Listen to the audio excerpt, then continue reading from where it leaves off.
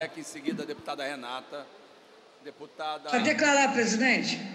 Para declarar, Mônica presidente. E Lucinha. Mônica e Lucinha. Para declarar também. Obrigada, presidente. Para declarar Senhor também, presidente. presidente.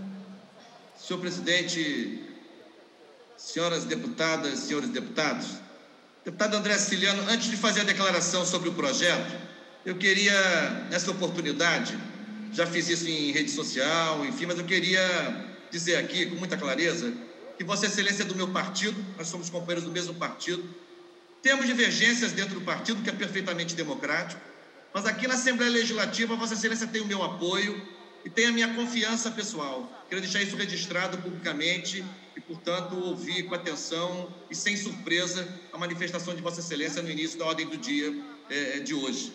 Eh, queria também, sobre a matéria em si, eh, dizer que a Defensoria Pública do Estado do Rio de Janeiro é um orgulho e um patrimônio do nosso Estado.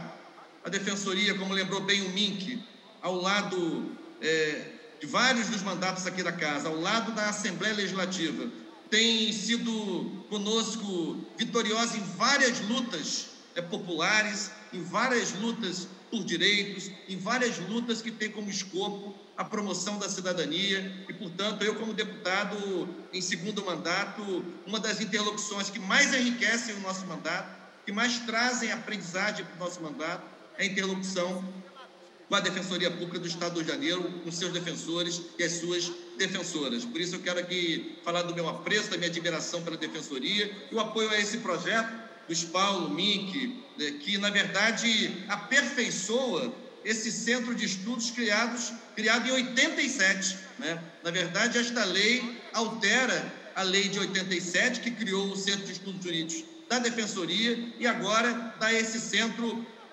de estudos é, outras atribuições, enfim, é, é, vinculando diretamente ao Gabinete do Defensor Público Geral do Estado e, portanto, aperfeiçoando as possibilidades de formação continuada, de aprimoramento dos quadros, não apenas de defensores e defensoras, mas todos os servidores públicos que integram os quadros da nossa defensoria. Por isso, a minha manifestação de apreço por esse órgão, que é um verdadeiro tesouro na defesa da cidadania e dos direitos, sobretudo das populações mais vulnerabilizadas, e o apoio ao projeto que aperfeiçoa esse instrumento que já existe, mas que agora fica ainda melhor e certamente ajudará a Defensoria a desenvolver um papel ainda mais eficiente, ainda mais cidadão, ainda mais enriquecedor para a vida cotidiana do nosso Estado. Parabéns à Defensoria e parabéns ao projeto aprovado hoje eh, em sessão única.